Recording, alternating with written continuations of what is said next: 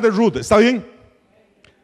¿Quién es Ruth? Ruth es una señora que tiene una vida muy bonita, tiene su esposito, tiene dos hijos, eh, vive en Israel, es parte, es miembro del pueblo elegido por Dios, del pueblo del pacto. Es una mujer que está sujeta y cubierta por un montón de promesas incondicionales de Dios. Y dice el versículo 1 del capítulo 1 de Ruth.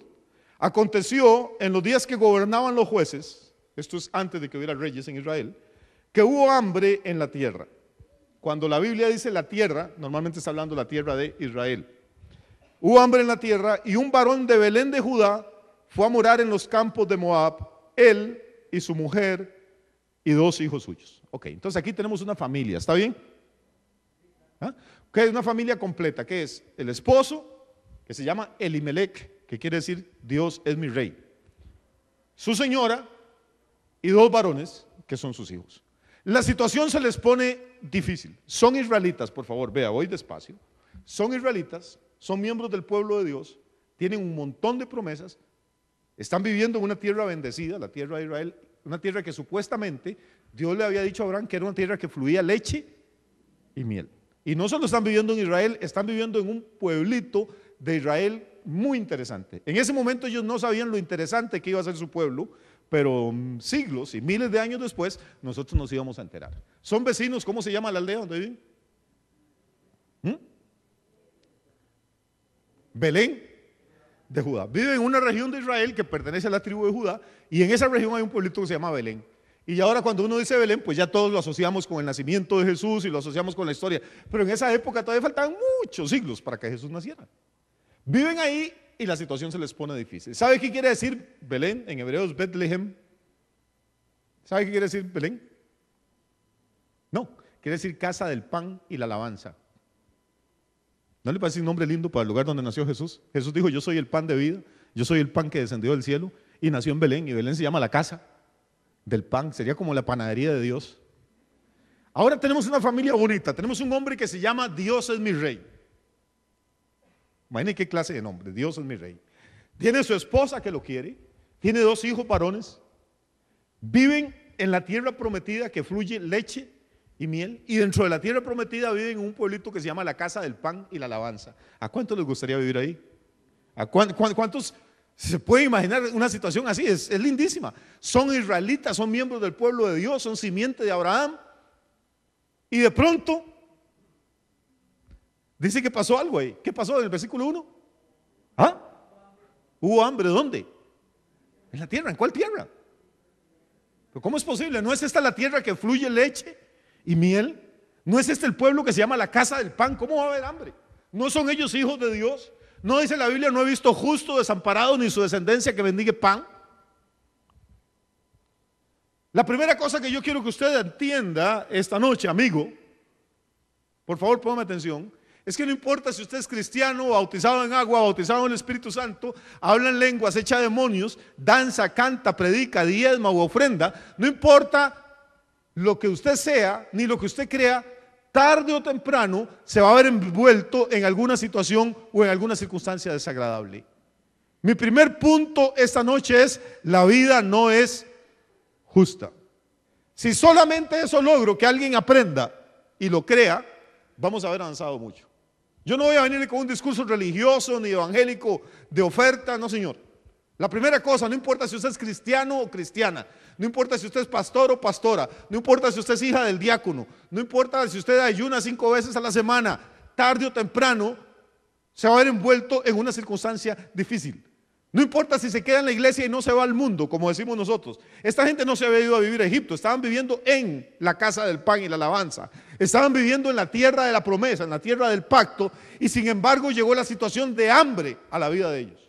No dice de escasez, no dice de crisis, dice de hubo hambre en la tierra. Ahora que todo el mundo se queja de la mala situación en Pérez Celedón, creo que gracias a Dios todavía aquí no tenemos nadie que se acueste con hambre. Y si alguien que nos está viendo por televisión va a dormir esta noche con hambre, venga en carrera para acá y algo hacemos. Por un galón de sopa mondongo le damos y lo mandamos con la panza caliente para la casa. Puede haber situaciones difíciles, puede que a veces las deudas se nos estén escapando de control, puede que a veces el negocio ya no esté dando lo que sea, pero hambre, hambre es una cosa terrible. El hambre es una maldición. El hambre no es una bendición, es una maldición en la Biblia. Servirás a tus enemigos, dice el libro de Deuteronomio, que Jehová enviaré contra ti con hambre, con sed, con desnudez y con falta de todas las cosas. La primera de esas cuatro maldiciones es el hambre. Solo la gente muy religiosa o muy ignorante puede seguir sosteniendo que la pobreza es una bendición de Dios. La escasez, la miseria, la ruina, el hambre, son cosas terribles. Y esta familia llega al momento en que no puede hacer nada y toman una decisión, emigran. ¿Qué es emigrar? Se van de su país a vivir a otra nación. Eso es algo típico aquí en Pérez Celedón. ¿Cuántas familias en la zona sur llegaron a una situación en que uno de los dos o los dos tuvieron que emigrar, dejar al esposo o dejar a la esposa dejar a los hijos con alguien e irse a, a veces ilegales, a arriesgar que los mataran en el desierto, que los agarrara la policía de migración en Estados Unidos y los deportara, a hacer trabajos que tal vez la gente de allá no quería hacer, paliar nieve a medianoche, lavar platos en un restaurante con un frío terrible y, el agua hirviendo de las llaves, limpiar servicios sanitarios. La necesidad nos obliga a hacer cosas que no, que no nos gustan y que no nos parecen justas. ¿Cómo es posible que un hombre que desde su nacimiento dice que Dios es su rey, un hombre que es descendiente de Abraham, un hombre que tiene el pacto de Dios en su carne, que está circuncidado desde el octavo día. Un hombre que tiene una esposa que lo ama, tiene dos hijos que cuidar, que vive en el país de la bendición y que vive en un pueblo que se llama la casa del pan, tenga hambre. Y no solo tenga hambre, tenga que empacar sus bártulos y tengan que irse a otra nación. Esta otra nación se llama Moab. Moab es un enemigo tradicional de los israelitas. ¿Quién sabe cuántas guerras habían sostenido a lo largo de los años? Los moabitas no creían en el Dios de Elimelech. Probablemente cuando él llegó dijo, me llamo Elimelech y me llamo Dios es mi rey, se atacaban de risa. Y dice, bueno, si tenés ese rey, ¿qué estás haciendo aquí? ¿Me siguen o no me siguen? ¿No le ha pasado alguna vez a usted que Satanás viene y le dice, bueno, pero si usted es tan creyente y tiene tanta fe y es tan hijo de Dios y las promesas de la Biblia son ciertas, entonces ¿por qué le está pasando todo esto? ¿O solo a mí me ha pasado alguna vez? ¿Ah? Recuerden, no estoy tratando de emocionar a nadie, no estoy tratando de venderle un mensaje barato. Esto no es fácil, es que es la realidad. La realidad es que no importa cuánta fe tenga usted en Dios, la vida no es justa. Jesús dijo, en el mundo tendréis aflicción. A la gente buena le pasan cosas malas. Y hay gente malísima a la que no le pasa nada malo. Y no crea que ustedes ni yo somos los que estamos descubriendo esto. Hace tres mil años, David escribió en el Salmo 73, dice, a mí casi se me resbalan los pies porque miraba alrededor mío y veía cómo los impíos prosperaban y cómo les iba bien y cómo a la gente buena y a la gente justa las cosas se le ponían cuesta arriba. Y yo dije, seguro no hay Dios. Está hablando David, un hombre que era conforme al corazón de Dios. Hay gente que le viene a uno con preguntas para las que honestamente no hay respuesta. Uno como pastor no es el Espíritu Santo. Yo no tengo respuesta para todos los problemas. Hay gente que le dice, pastor, ¿por qué se me murió mi hijo, hermano? No tengo la menor idea. Yo puedo meterle un cuento y decir, ay, e-, e-, esa payasada religiosa es que el Señor necesitaba otro angelito en el cielo. Y entonces de, le hacía falta y se llevó al chiquito suyo. No, no, esas son pendejadas. Si Dios ocupa otro ángel, no necesita matar a nadie, si a todos los hizo de la nada. Se murió porque en este planeta la gente se muere. Hay accidentes porque a veces usted nunca se ha tomado un trago y un borracho le choca el carro y lo deja inválido. No trate de defender a Dios, no trate de darle explicaciones a la gente por todo lo que ocurre. La vida no es justa. Punto. Y convertirse a Cristo no es comprar un seguro contra accidentes y contra problemas. Yo sé que todos ya me están sacando versículos bíblicos, sí hermano, yo también tengo versículos bíblicos. Aquí dice que no hay justo ni desamparado ni de su descendencia que mendigue pan. Pero estoy viendo una familia de gente temerosa de Dios que tiene que vivirse a un pueblo de idólatras, de gente que quemaba incienso a demonios, y no solo incienso, a veces quemaban niños para adorar a los dioses de ellos. Y que iban a ser humillados y ridiculizados. Y el hombre va a entrar diciendo, yo me llamo Jehová mi Dios, y los paganos le van a decir, bueno, ¿y si es tu Dios? ¿Por qué no te quedaste allá donde Él? ¿Por qué tenés que venir a donde los dioses de nosotros? Si el Dios suyo, Jehová, es el Dios verdadero, ¿por qué ustedes tienen hambre? Y si los demonios nuestros son malos, porque nosotros tenemos comida? Hermano, no hay respuestas fáciles. Los religiosos tienen respuestas para todo. Cuando yo empecé en esto, yo trataba de defender a Dios y decir, bueno, pero es que Dios debe tener algún propósito. Seguro que sí, pero nosotros no lo entendemos. Así es que en vez de, ponernos a, decir tonterías, aceptemos la realidad. La vida no es justa. Nadie dijo que era justa. Yo creo que uno nace con la sospecha de esto, porque desde que nace, nace pegando gritos y llorando y pataleando. Diciendo, o sea, yo mejor me quedo donde estaba, estoy más tranquilo que donde mi mamá, aquí no hay que estudiar, no hay que trabajar, la panza está calientica, si yo no me mojo, si hace calor, no lo siento, la temperatura está estable, aquí no tengo que trabajar. Pero no, va para afuera, le echan el desahucio a los nueve meses. Y de ahí en adelante expóngale, mi hermano. Pastor, y si me convierto, Jehová no mandará al ángel suyo y él me va a andar. Hermano, eso es lo mismo que le dijo Satanás a Jesús.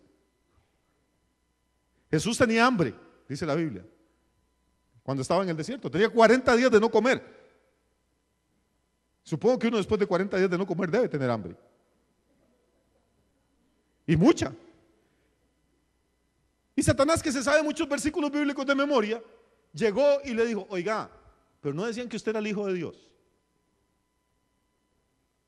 Le dice, si en verdad, o sea, empieza a meterle la, semillita de duda, si en verdad eres hijo de Dios, ¿para qué aguantar hambre? ¿Por qué no le dice que haga todas estas piedras en qué? En pan. Que las haga en, en pan. ¿Dónde vivía Elimelech? En un lugar que se llamaba la casa de él. El pan. ¿Qué tenía Elimelech y su familia? Hambre. Es la misma situación. ¿No le ha pasado a usted nunca cuando está en una prueba, en una lucha, Decir, bueno, pero si yo soy hijo de Dios y si las promesas de Dios son ciertas, no hay una vocecilla por ahí y le dice, entonces, ¿por qué me está pasando? ¿Ah? Hasta que huele a sufrir. El diablo no quiere que usted coma pan, lo que quiere es que usted dude que es el hijo del Dios viviente o la hija de Dios viviente. Y Jesús, que no era ningún bebé espiritual, que era un hombre maduro y sabía quién era él y en lo que había creído, Jesús le dice, apártate Satanás porque escrito está no solo de pan vivir al hombre. O sea, yo tengo otras prioridades más que estar lleno, que estar cómodo. Si tengo trabajo, gloria a Dios. Si no tengo, igual voy a glorificar a Dios. Si ando nadando en la abundancia, voy a servirle a Dios. Y si estoy pasando por una situación difícil, igual a mí no me van a echar para atrás, le voy a servir a Dios. Si después del sermón todos ustedes se ponen de pie y aplauden, mañana a las nueve estoy predicando aquí. Si todos se ponen de pie y me tiran tomates, mañana a las nueve estaré aquí otra vez igual, si Dios quiere. Y traigo un repollo para hacer ensalada.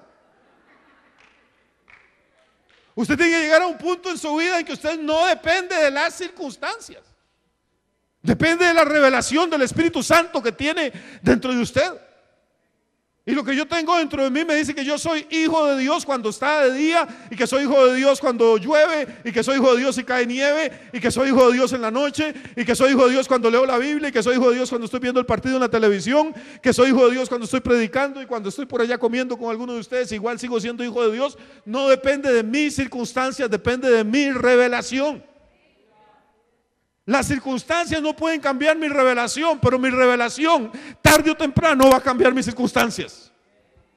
A veces no tan rápido como yo quiera. Esta gente migra, se van a Moab. Versículo 2 dice el nombre de aquel varón era Elimelech y el de su mujer Noemí. Y los nombres de sus hijos eran Malón y Kelión, Efrateos. Efrateos es de la familia de Efrata. Belén perteneció a un hombre llamado Efrata. Efrateos de Belén de Judá. Llegaron pues a los campos de Moab y se quedaron allí. Y aquí empieza lo bueno, mi hermano.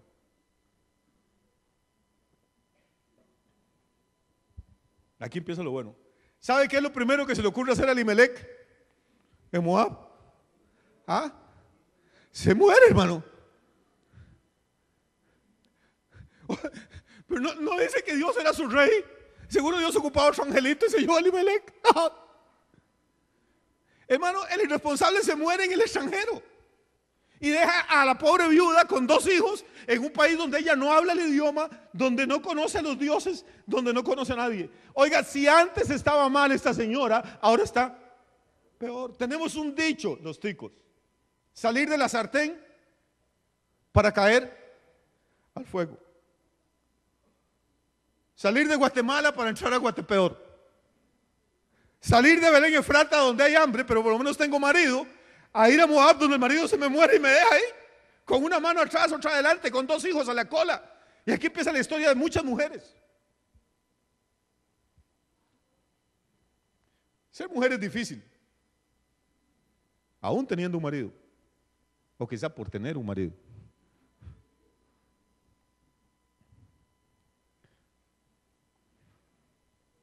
Linda, ninguna se atreve a decir amén.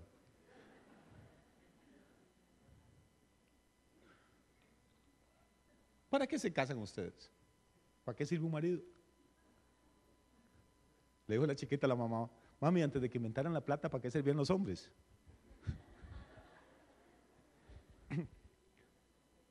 El marido es como el invento de Dios para que usted empiece a practicar a cuidar niños.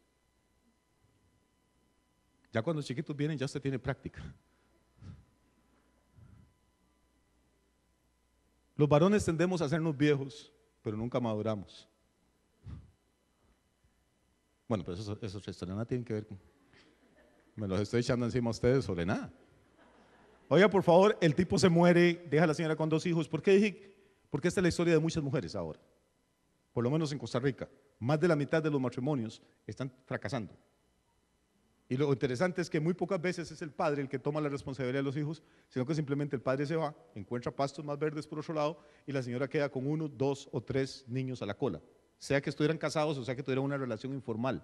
Y entonces ahora la, vida se le complica más, porque no solo tiene que verse ella, tiene que ver a sus hijos también. Las mujeres han sido mal entrenadas. Uno oye todavía señoras diciendo, eh, no, es que yo no trabajo, casadas y con hijos no trabajo, pero ¿qué más trabajo quiere? Lo que usted quiere decir es que no trabaja fuera de la casa. Lo que usted quiere decir es que su marido no le paga un salario, que debería. Pero no que no trabaja. Pero cuando una mujer tiene hijos y no tiene esposo, tiene, tiene, doble trabajo. ¿Por qué? Porque tiene que ir a ganarse el sustento afuera y luego tiene que venir a bañar niños, a planchar ropa, a lavar ropa, a mudar niños, a hacer comida. Es una situación difícil. Imagínense que todo esto le está pasando a usted en un país donde no conoce a nadie, donde no conoce el idioma, donde la gente se burla de su Dios, se da cuenta como usted no tiene tantos problemas como tenía esta señora, se le muere su marido y le quedan sus dos hijos. Murió, dice el versículo 3, Elimelech, marido de mí y quedó ella con sus dos hijos. Eso es lo que el Espíritu Santo quiere decirnos. Ese quedó ella con sus dos hijos quiere decir mucho. Entonces esta señora, ya los hijos no son niños. Esa señora empieza a orar, a ver, Dios, ella, conoce a Dios, ¿qué vamos a hacer? Y, los dos hijos consiguen novia, y aquí viene el otro problema. A mí esos chavalos me caen mal. ¿Cómo es posible que su mamá viuda en un país extranjero y apenas medio empiezan a sentir las hormonas, en vez de seguir a trabajar para ayudarle a mamá que les haya dado el cuerpito que tienen, van y consiguen novia al par de sinvergüenzas? Pero esa es la ley de la vida. Yo estoy cansado de explicarle a ustedes, los hijos son la peor inversión que usted puede hacer en la vida. Ay, pastor, no diga, son una bendición de Jehová. Los hijos son de lo más caro, es más barato comprar una finca.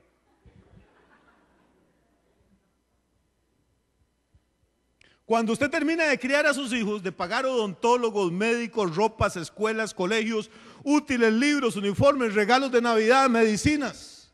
Cuando termina de criarlos y tienen 18 o 20 años y ya están cerca de sacar el título, usted dice, bendito el Señor, ya casi ahorita empieza a trabajar y consigue trabajito, estoy orando para que un trabajito y, ya va a empezar a meter platica en la casa, jaja.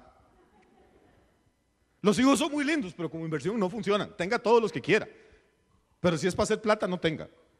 Eso era antes que los señores tenían 100 manzanas de terreno y cada la mujer paría cada año y veían a ver si era chiquito o chiquita. Si era varón, decían, hay otro peoncito.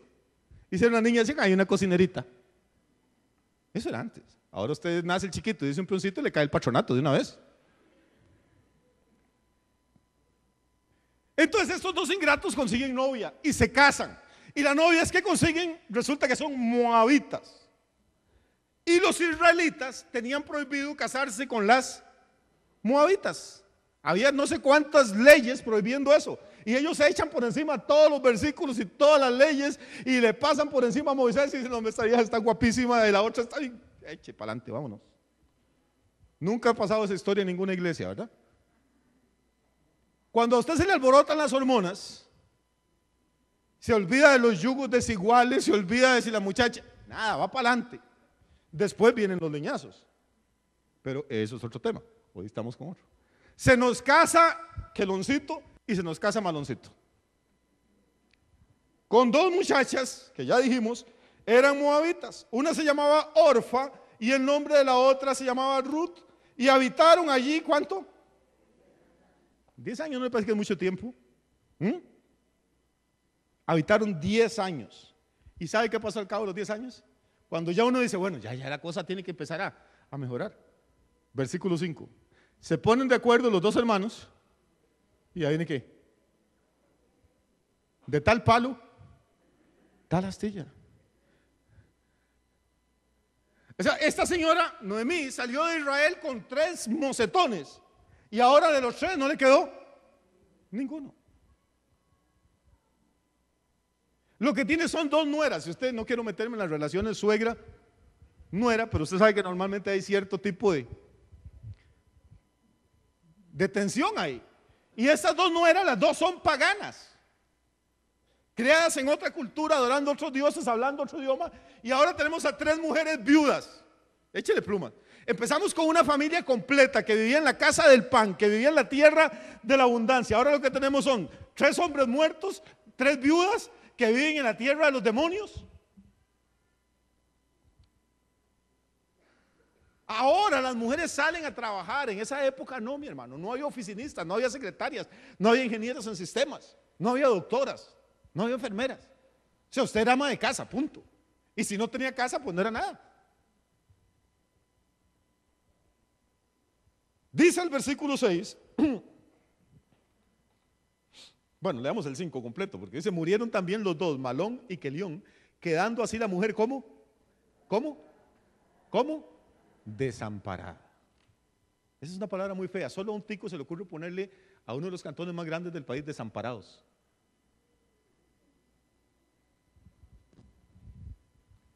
Nosotros somos geniales, desamparados.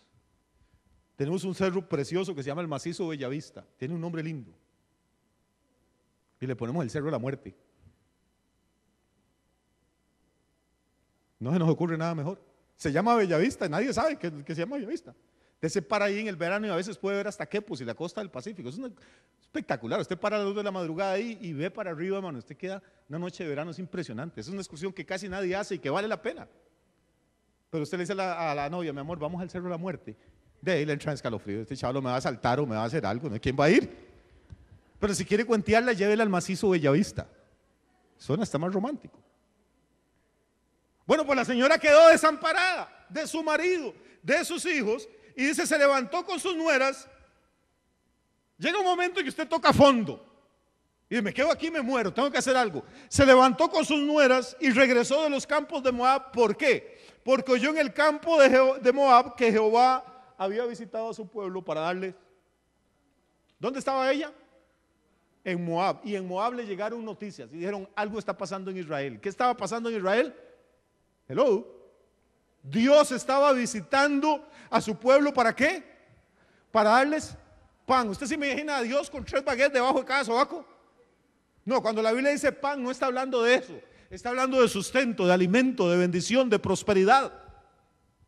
Aquí tenemos la primera cosa. Una, la vida no es justa. A esta señora le pasan un montón de cosas terribles.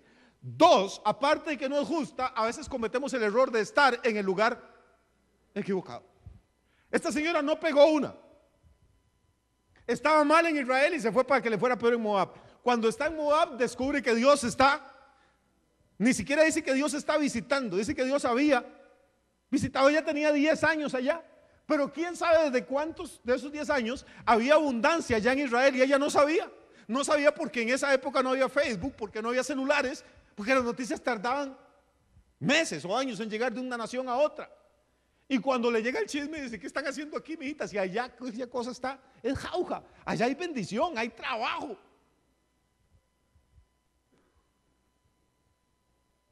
Hay gente que pasa toda la vida así. Se mueve de un lugar exactamente para ese lugar equivocado.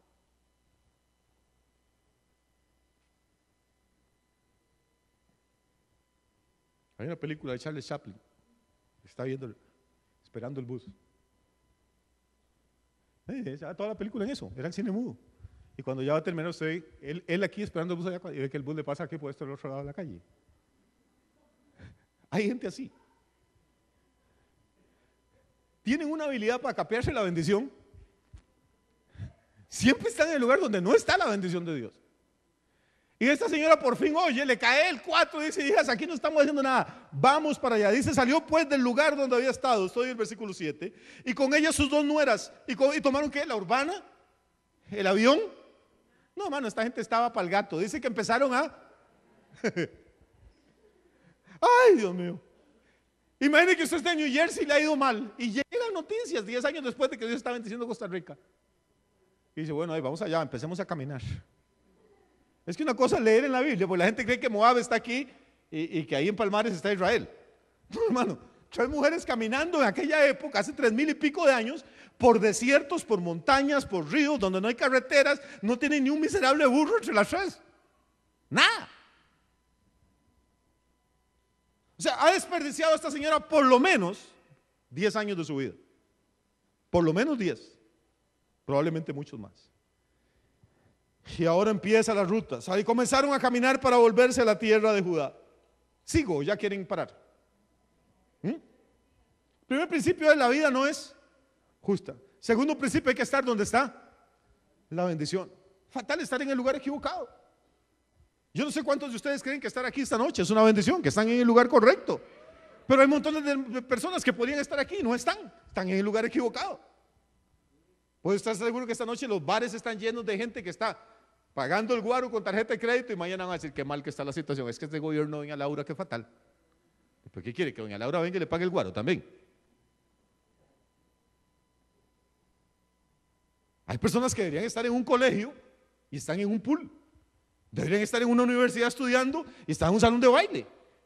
Deberían de estar llenando un currículum y buscando trabajo y están jeteando viendo televisión. Hay que aprender a estar en el lugar correcto. Y aunque usted esté en el lugar correcto, tiene que aprender que a veces las circunstancias no van a ser las mejores porque la vida no es, no es justa. Empiezan a caminar y cuando van caminando, Noemí se vuelve a sus dos suegras y les dice, volveos cada una a la casa de su madre. Por eso yo imagino que estas señoras todavía eran jóvenes, porque todavía la mamá estaba viva. Vuelve a cada una a la casa de su madre y que Dios haga con ustedes misericordia, como la han hecho ustedes con los muertos y conmigo. O sea, eran impías, pero eran buenas esposas. Querían a su suegra y habían querido a sus hijos. ¿Cómo es posible que dos muchachas, es que ya cuando una muchacha quiere a la suegra, ya, ya es casi un ángel. Y todavía quieren al marido, que eso es más raro y se les mueren los maridos. Vea qué tristeza.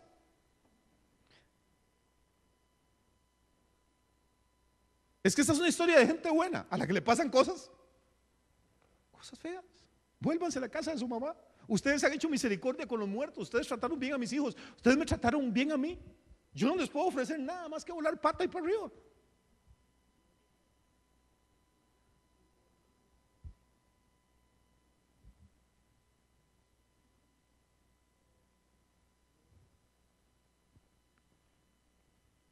Mujeres, hay que hacer misericordia con sus maridos.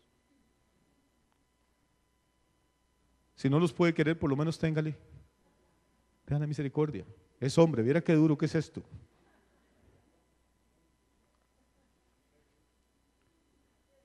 Y entonces ahí empieza el tira y afloja, que es el centro de todo esto. Dice, oiga, oiga esta señora hablando, os conceda Jehová que hayáis descanso, cada una en casa de su. Oye, que soy la más carga. ¿Sabe qué les está diciendo? Vuelvan, ustedes están jóvenes, cásense otra vez. Hay suegras ahora que si se muere el hijo, le dicen a la nuera, usted no se puede volver a casar. ¿Por qué no? Porque apenas lleva 10 años de luto, ¿a usted qué le importa? Se murió, qué pena, pero de ahí, ninguna parte de la Biblia dice que usted tiene que esperar seis meses ni seis años. No, no, no. si, Dios la bendice y le apareció por alguien que le cerró el ojo, dele viaje. Ay, no, que el difunto era tan bueno. Sí, era. Del verbo ya no. No hay nada extraño en esto. Oiga, eso es una señora normal, sensata, hablando. Usted, yo no les puedo ofrecer nada. Vuélvanse a la casa de sus mamás y ahí algo les va a salir. Cásense y que Dios los bendiga con los nuevos maridos. Pero, y las besó. Me encanta esta suegra. Dice, luego las besó y ellas, mujeres al fin, alzaron su voz y lloraron. ¿Qué quiere decir alzaron su voz? ¿Ah? Se desgajaron a gritar. Y lloraron, ay, ¿cómo nos vamos a separar? Y le dijeron, ¿cuántas le dijeron? Las dos dijeron, ciertamente nosotras iremos contigo a tu pueblo. Me gusta este tipo de mujeres. Están de, ahora el, el viaje, el signo, la dirección de la migración se invierte. Primero empieza una familia de Israel a Moab. Ahora son estas dos muchachas, jóvenes y viudas, las que van a dejar su país, sus dioses, sus madres, para ir detrás de una mujer a la que no conocen. Dice, no, no, nosotros te, vamos, vamos a ir contigo a tu pueblo. ¿Qué clase de suegra creen ustedes que era Noemí para que estas dos mujeres estén dispuestas a dejar a su mamá para irse detrás de la suegra? Piénselo por un momentito. ¿Qué clase de suegra era esa señora? No, no, nosotros nos vamos contigo, ciertamente. Y Noemí le respondió, le, leo el diálogo porque es bonito. ¿O no quieren? Ah, para eso lo leemos en la casa. Y Noemí le respondió, volveos, hijas mías, ¿para qué habéis de ir conmigo? ¿Tengo yo más hijos, en el vientre que puedan ser vuestros maridos? Esta es una pregunta extraña. Voy a explicarla. Esto es porque hay una ley que se llama la ley del levirato. La ley del levirato decía que si una mujer quedaba viuda, el que se casaba con ella era el hermano que seguía, el cuñado tenía que casarse con ella. Pero esta señora solo tenía dos hijos y los dos se le murieron. Entonces le dice, yo ya no tengo más hijos en el vientre, no tengo más óvulos. Quiere decir que ella ya estaba llegando en la menopausia. Las mujeres nacen equipadas con todos los óvulos que van a madurar en su vida. Ustedes son una maravilla. Cuando una bebita nace del vientre de su mamá y usted la pone así, hoy hace algunos años, por cierto, nació Rebeca, tuve la oportunidad de... Cuando, cuando esta bebé está aquí, ya tiene ahí en su vientrecito todos los óvulos que va a ocupar durante la vida. ¿No le parece fantástico? Mientras que los varones hay que pulsearla cada vez tenemos que producirlos. Cuesta más. No los óvulos, la otra cosita. Y esa señora dijo, ya me se me secó, ya eché todo lo que tenía que echar. No, no puedo parir un hijo. Imagínense, mientras crece y cumple 18 o 20 años, ya ustedes también van a estar menopáusicas. No, no, nada vienen a hacer atrás mío. No me sigan esperando que les voy a dar más hijos porque ya yo no tengo más hijos en el vientre que puedan ser maridos de ustedes. Vuélvanse, hijas mías, váyanse, porque ya yo soy vieja para tener marido. Y aunque dijera, tengo esperanza, y esta noche estuviera con marido y, y diera a los hijos, ¿acaso que ustedes iban a esperarlo hasta que fueran grandes? ¿Cómo se van a quedar sin casar? Dice el versículo 13. Por amor a ellos. No, hijas mías, yo tengo más amargura que ustedes porque la mano de Jehová se ha levantado contra mí. Esta es una mujer inteligente, hermano. Aquí no hay nada emocional. Ese cuento de que las viejas son emocionales, histéricas, esos cuentos que se han montado ustedes mismas. Porque a veces les conviene jugar de eso. Las mujeres son inteligentes cuando quieren. Esta es una señora inteligente. Aquí no hay nada emocional. Dice, ustedes me quieren a mí, yo las quiero a ustedes, pero nada van a hacer conmigo. Punto. Yo estoy muy vieja para parir más hijos y aunque esta noche me acostara con alguien y me dejara embarazada, todo el proceso de crecimiento del niño los llevaría 18 o 20 años más y ya ustedes estarían menopáusicas y no podían tener más hijos. Ustedes no se pueden quedar sin casar por amor a mí. Devuélvanse aquí. Aquí no hay nada, yo las amo. Ay, no, no, nada de eso. Las cosas son como son. Ay, es que si me deja yo me muero, me mato, me hago loco. Nada, ninguna mujer se ha vuelto loca porque un hombre lo deja. Muchas se han vuelto locas porque el hombre no se va, más bien.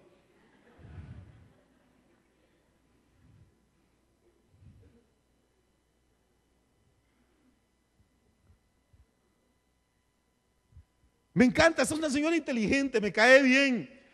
Dice, y ellas alzaron otra vez su voz y lloraron. Y Orfa besó a su suegra, pero Ruth se quedó con ella. Eso es lindo. Orfa la besó y jaló. Hay una canción que llama Si me besó y se fue un tango. Ruth no la besó, pero se quedó. Desconfía de la gente que anda detrás diciendo, mi amor, es que soy yo. Todo eso es puro jarabe pico. Lo que cuenta no son las palabras, al final son los hechos. ¿Quién está con usted? ¿Quién le cubre la espalda? ¿Quién se la juega por usted? Pastor, hay, mujeres que, pastor, es que mira, mi marido es tan bueno, él trabaja, él es fiel, él ama al Señor, pero es tan poco cariñoso, pastor. Y una necesita que le digan que está guapa y que le den besitos y le mueran la punta de la oreja. Déjese.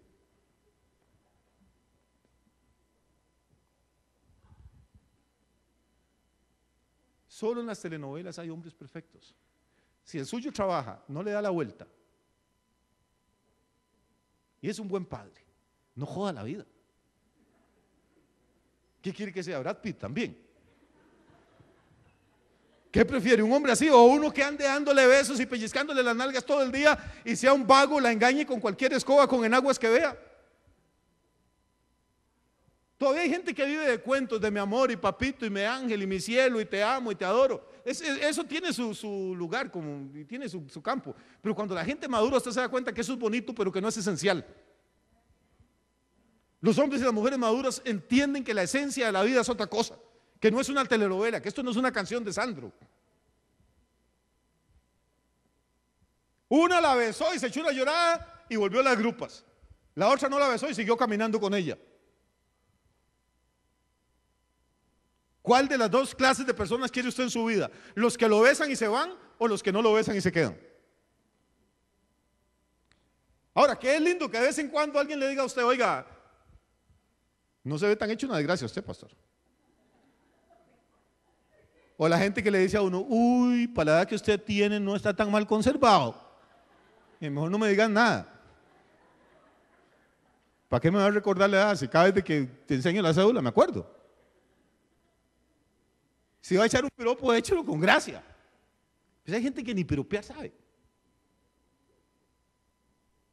Solteros, quiero ver la mano, varones. Alto, no debe pena. Ok, alto, bastantes. Hermanas, ¿qué están haciendo, por Dios? ¿Quiere uno bueno? ¿Alguna vez uno de ustedes le ha pedido el número de teléfono a una muchacha? Esa es la peor imbecilidad que usted puede hacer, con todo respeto. Y si ella se lo da, más imbécil es todavía. Ya ese truco está muy quemado. ¿Para qué le va a pedir usted el teléfono a una muchacha? Es por si me deprimo en la madrugada a llamarla. Nunca le, nunca le pida el teléfono a una muchacha. Lo que usted tiene que hacer es esto. La ve, le gusta y usted se le acerca y le dice, disculpe señorita, ¿usted sería tan amable darme el número telefónico de sus papás? Y con eso le vuela el cerebro. Pero cuando usted dice el número telefónico, ya ya está preparada para sacar la uña y decirle que no. Pero usted le dice de sus papás y automáticamente le pregunta, ¿y para qué quiere el teléfono de mis papás? Entonces se le dice, porque yo estoy, si es cristiano, le dice, estoy orando para casarme. Y no, estoy pensando en casarme. Y cuando me case quiero tener hijos e hijas tan preciosos como usted. Y quiero llamar a sus papás para pedirle la receta.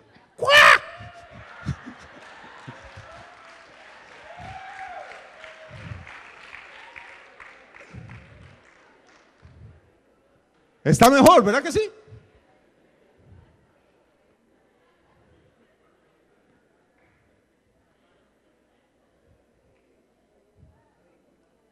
Si lo va a usar, dígame, pastor.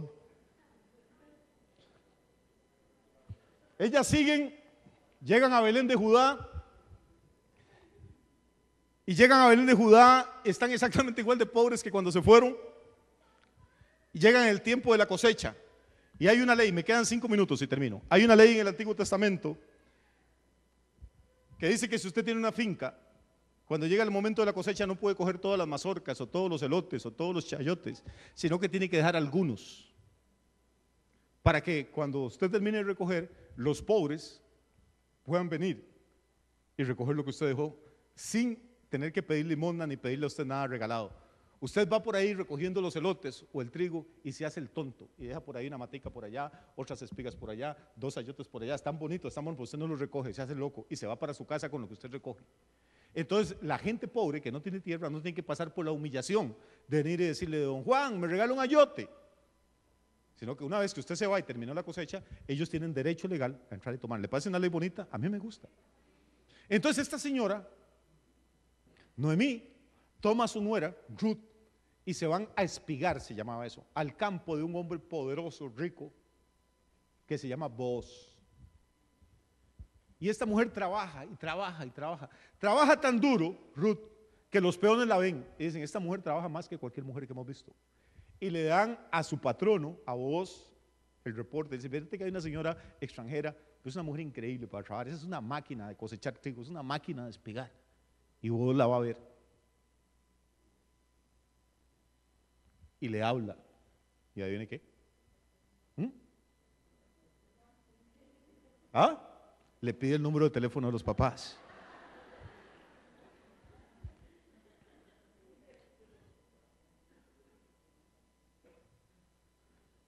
Y le dice, mijita, no se maltrate tanto, está haciendo mucho sol. Tome, acá hay un poco de pasas y uvas y queso. Tome, llévele a su suegra para que coman las dos. Cuando la chiquilla llega con lo que le dio voz a la casa, ¿sabe qué pasa? ¿Qué hace la suegra? ¿Mm? Ella dice el versículo, capítulo 2, versículo 19. Le dijo su suegra, ¿dónde has espigado hoy? ¿Y dónde has trabajado? Bendito sea el que te había reconocido. ¿Por qué? Porque le enseñó los regalos. Y contó ella a su suegra con quien había trabajado, dijo, el nombre del varón con quien he trabajado hoy es vos. Y le dijo Noemí a su nuera, sea el bendito de Jehová, pues no ha rehusado a los vivos la benevolencia que tuvo para con los que han muerto. Y después le dijo Noemí, nuestro pariente es aquel varón y uno de los que pueden redimirnos. Y Ruth la Moabita dijo, además de esto me ha dicho, júntate con mis criadas hasta que haya acabado toda mi siega. Y Noemí le respondió Ruth, no era mejor es, hija mía, que salgas con sus criadas y que no te encuentren en otro campo. Estuvo pues junto con las criadas de voz espigando hasta que acabó la siega de la cebada y la del trigo y vivía con su suegra. La suegra, hermano, es una señora que le dije, me cae bien porque es como. Cuando la vio llegar con aquel montón de comida, le dijo, mamita, ¿dónde andaba usted que viene con tantas cositas? Y entonces las dice, no, estaba trabajando y el dueño del campo me llamó y de una vez a la suegra se le enciende el foco.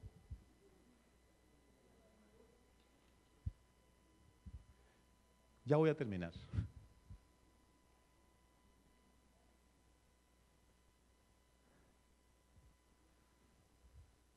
Las payasadas de las novelas, de las canciones y de las películas nos han hecho tanto daño.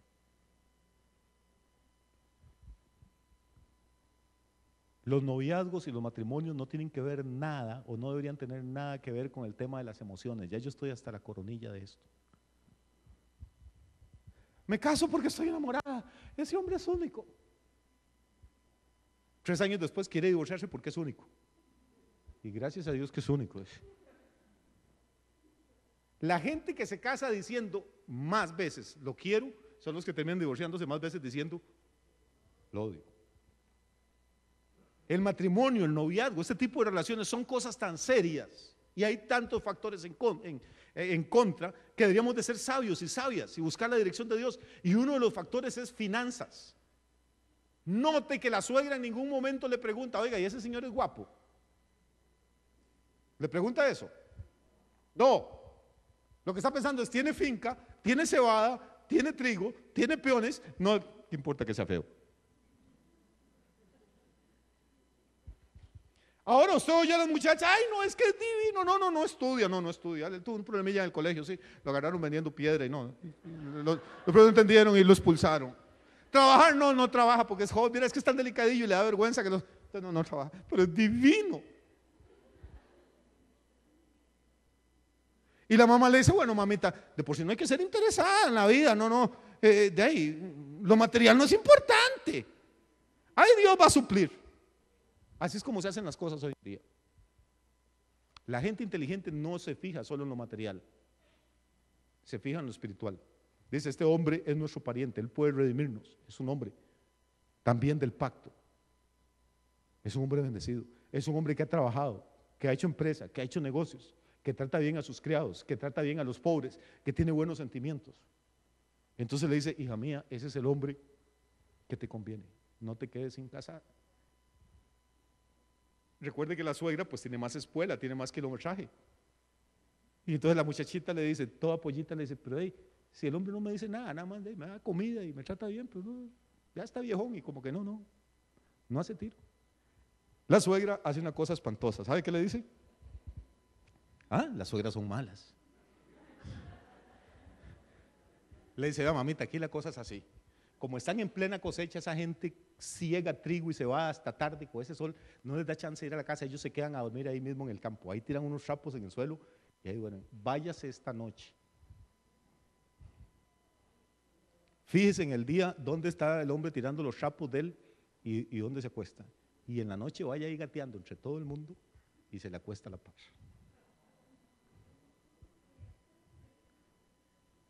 Lo que la suegra le dice en hebreo no tiene traducción al español, pero le dice, le destapa los pies. Ahora, eso se llama un eufemismo. ¿Para qué le iba a oler las patas? O sea, lo que menos necesitaba eran los, los pies. El pobre hombre también ya está viejón y, no tiene mujer, no tiene nada. Y la suegra ahí sabe que el, tipo está un llavazo. Y entonces vaya y le hace cosquillas ahí, a ver si reacciona. Tal vez todavía funcione algo. Y ahí viene qué. ¿Sí funcionó? Terminan casándose. Es que es, lindo, vaya a estar en la casa. Es que mira, con la televisión cuesta mucho, ¿no? no pueden. Capítulo 4 dice, vos se casa con Ruth. Es como, como una novela. Y resulta, verso 13 del capítulo 4, vos pues tomó a Ruth y ella fue su mujer y se llegó a ella. ¿Sabe qué quiere decir se llegó a ella? Es otro eufemismo. Los hebreos les daba mucha vergüenza hablar de sexo. Se llegó a ella, quiere decir, tuvieron relaciones sexuales. Se casó, fue su mujer, tuvo relaciones sexuales y Jehová le dio que concibiera y diera a luz un hijo. Y las mujeres le decían a Noemí, a la suegra, alabados a Jehová que hizo que no te faltara pariente y su nombre será celebrado en Israel, el cual será restaurador de tu alma y sustentará tu vejez. Estas viejas son vivas. Él va a restaurar tu alma, la parte espiritual, pero te va a mantener en la vejez. Hello. ¿Sí o no? Son personas que están pensando espiritualmente, pero tienen los pies en la tierra. No, usted está vieja, no puede trabajar y ahora le sale ese pedazo de yerno. Vieja más dichosa, es lo que le están diciendo las vecinas. Va a restaurar tu alma, te va a sustentar en tu vejez, pues tu nuera que te ama. Todo el mundo sabía que Ruth amaba a Noemí. Lo ha dado a luz y ella es de más valor para ti que siete hijos. Seguro los hijos que tenía Noemí eran medias inútiles y todo el mundo sabía. Dicen, no, aquellos manganzones que usted tenía, mejor que se murieron. Esto, qué pedazo no era, le dio Dios. Esto vale más que siete hijos. Y tomando Noemí el hijo, lo puso en su regazo. La abuela toma al niño en su regazo y fue su haya. Y le dieron nombre a las vecinas diciendo, le ha nacido un hijo a Noemí. Y lo llamaron Obed. Obed quiere decir siervo en hebreo. Siervo de Dios. Y resulta que este niño crece Obedcito, crece y se casa. Y tiene un chiquito que se llama Isaí. E Isaí crece y se casa, como hacen todos los muchachos irresponsables. Y tiene un hijito que se llama David. Y David es el ungido de Dios, es el segundo rey de Israel, es el hombre conforme al corazón de Dios y es el antepasado de nuestro Señor Jesucristo, nuestro Salvador. Y adivine dónde nació Jesús. Nació en Belén de Judea, en Belén Efrata, la misma ciudad donde había ocurrido toda esta historia. Ahí vino a nacer mil años después. ¿No es maravilloso el Señor? ¿No es maravillosa la Biblia? La vida no es justa, hermano, pero Dios tiene el control. Y aún de los momentos amargos y las cosas difíciles que no entendemos, y aunque a veces duren dos, cuatro, diez años o no sé cuánto, pero tarde o temprano Dios nos va a llevar al lugar de la bendición, donde Él está repartiendo el pan. Y nos va a dar lo que Él sabe que nosotros necesitamos. Tal vez usted necesita un esposo o una esposa, o trabajo, o salud, o un negocio. No se ponga a jugar de espiritual, decir, no, no, yo ya estoy muy viejo, estoy muy vieja, yo no ocupo. Todos necesitamos. No se ponga a decir, para mí la plata no es importante. Sí es importante. Dios no tiene problema con bendecir a la gente. Hay que estar en el lugar correcto. Hay que estar atento a las buenas noticias. En los campos de Moab ellas oyeron que Dios estaba visitando a su pueblo para darles pan. Yo no sé usted, pero yo creo que Dios nos está visitando en esta casa. Yo creo que Dios nos está trayendo pan, nos está trayendo una palabra de revelación, nos está trayendo bendición, nos está trayendo un espíritu de alabanza, está trayendo un espíritu de comunión, de amor, de unidad en la visión. Creo que este es un buen lugar para que usted esté. Y si está pasando por un momento difícil, no se ponga a preguntarle a Dios por qué. Nunca va a tener una respuesta. En lugar de preguntarle por qué, dígale, Señor, ¿para qué? Y va a ver que si a veces Dios no le va a dar una respuesta, pero le va a mostrar un propósito. Cuando estoy pasando por amargura, la idea no es decirle, Dios, ¿por qué? Si soy tu hijo y si soy pastor, no. Le dice, Señor, ¿para qué? ¿Qué propósito tiene esto? Muéstrame. No importa si hay que aguantar un año, dos o cinco o diez, pero si yo sé que hay un propósito y que al final voy a ser bendecido y tú vas a ser glorificado, yo he hecho para adelante. Amén. Eso es lo que necesitamos, un propósito. Vamos a ponernos de pie esta noche. ¿Están contentos? ¿Están contentas? Sí, Jesús nació en Belén. La ciudad de Boaz, la ciudad de Obed, la ciudad de Ruth, la ciudad de Noemí. Ruth ni siquiera era israelita, hermano. Esta mujer era una pagana, creció adorando demonios. Pero Dios es tan misericordioso que la trajo a su pueblo. Cuando Noemí iba para allá abajo, ¿qué se iba a imaginar ella? Todo lo que le esperaba, marido muerto, hijos muertos, escasez. Pero Dios tenía un propósito. De toda esa nación pagana iba a sacar una mujer que se llamaba Ruth. Y esa mujer iba a venir a Israel, a Belén de Judá, iba a conocer al Dios verdadero, iba a conocer un hombre con el que se iba a casar, iba a tener un niño, y ese niño iba a tener un nieto que se llamaba David, el rey más ungido de Israel. Y ese David iba a tener un descendiente que se llamaba Jesús de Nazaret, el rey de reyes y señor de señores. ¿Qué iba a entender la pobre Noemí en aquellas crisis, todo lo que Dios tenía en el futuro de bendiciones para ella? ¿Qué vamos a entender nosotros ahora en medio de nuestros problemas? ¿Qué es lo que Dios está planeando para dentro de 15 o 50 años con la vida de nuestros hijos, nuestros nietos, nuestros bisnietos? No sabemos. Lo único que tenemos que decirle, Dios, yo soy tu hijo y soy tu hija, en cualquier circunstancia. Y nada ni nadie me va a apartar del amor de Dios que es en Cristo Jesús, Señor nuestro. Yo declaro que hay un propósito eterno sobre mi vida. Declaro que hay una visión de Dios que antes de que yo naciera fui santificado por Dios y fui separado por Dios para un propósito eterno. Amén. Y que en cualquier circunstancia yo me voy a mantener fiel a ese llamado de Dios.